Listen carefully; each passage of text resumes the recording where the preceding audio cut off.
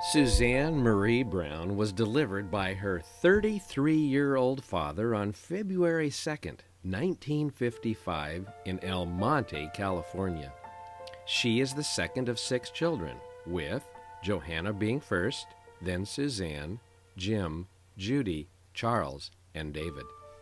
Her father, James Cyril Brown, was born 1921 in Tucson, Arizona.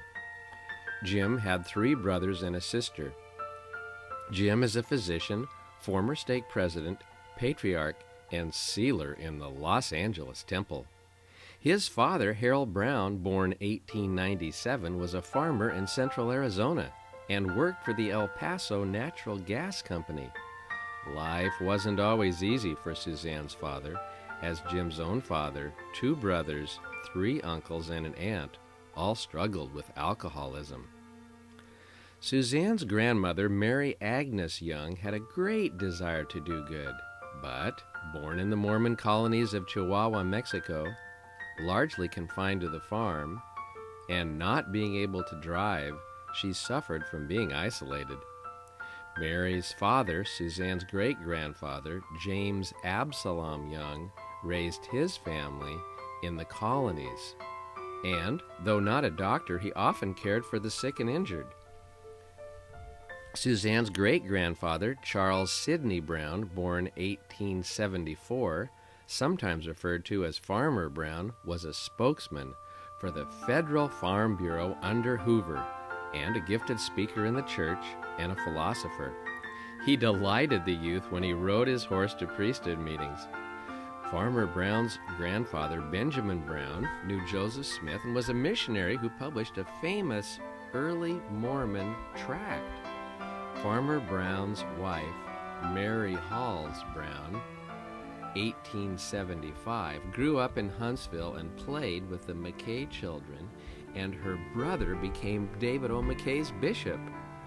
They moved to Colorado, where her own father, William Halls, 1834, was stake president and later patriarch.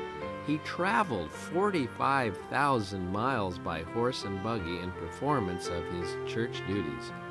The family farmed and ran an Indian trading post. Suzanne's mother, Marjorie Yvonne Jones, was born in Chino Valley in central Arizona. Marjorie was a woman of culture, an accomplished artist, and was totally committed to her family and the church.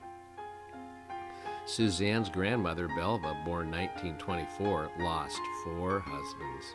George left, Leroy mentally ill, James a polygamist, and Edward, while a decent man, died, leaving Belva alone once again. Belva was a skilled seamstress who handmade Suzanne's wedding dress and did needlepoint footstools and traveled extensively.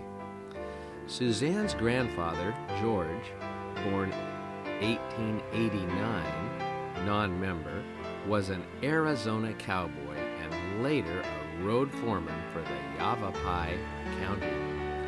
He built much of the I 17, but unfortunately, later in life, he died from a heart attack while trying to start a Caterpillar tractor.